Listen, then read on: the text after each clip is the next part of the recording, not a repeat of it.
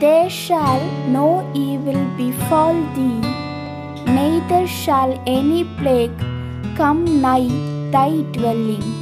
Psalms 91 10